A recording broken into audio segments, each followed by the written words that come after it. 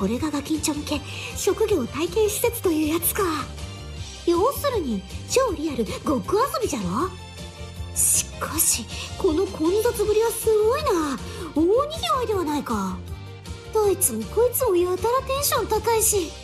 目がキラキラしとるぞ。ああわらは子供のテンションちょっと苦手。疲れる。うんうん。体験できる職業は CA にウェイトレス。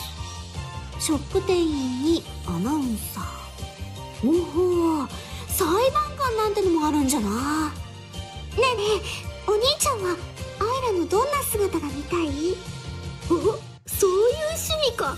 その年でそれはなかなか。うん。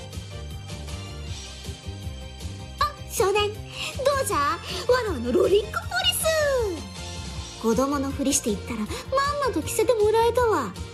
結構似合っとるじゃろ？ほれほれどうよ？いやでも実際の話これって最強のおとり捜査ではないか？おまわりさんわらわです。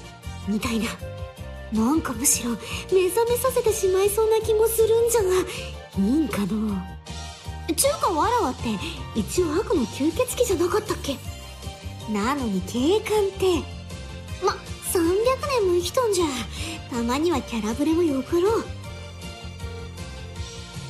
何はともあれ美少女警官。アイラちゃん爆誕じゃ。悪党どもよ。全員まとめて逮捕しちゃうぞ。わなんかテンション上がってきた。いけるかも。とその気になってみたはいいがなんか案外地味じゃな警官って。やっとることも警備の任務とはあんまし変わらんしの。このままじゃコスプレして練り歩いとるだけじゃぞ。実際。立てこもった銀行強盗の説得とかやらんのか？お母さんは泣いているぞみたいなやつ。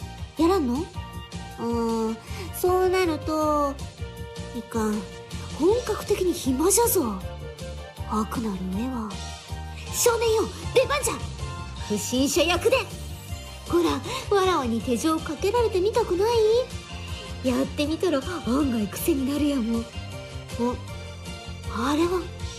行くぞ少年！仕事じゃ！これ娘。さてはお主迷子じゃろ。名前は何という？えい泣いとったらわからん。安心せもう泣かずともよい。このわらわが来たからにはもう大丈夫じゃ。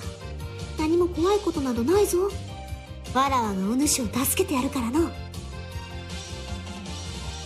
あ少年どうじゃ？わらわのロリッコナース。お注射しちゃうぞ。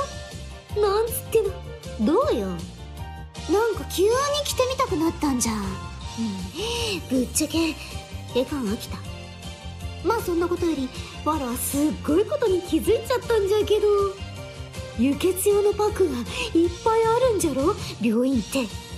つまりナースになったら血飲み放題なんではないか？あいやジョークじゃジョーク。吸血鬼ジョーク。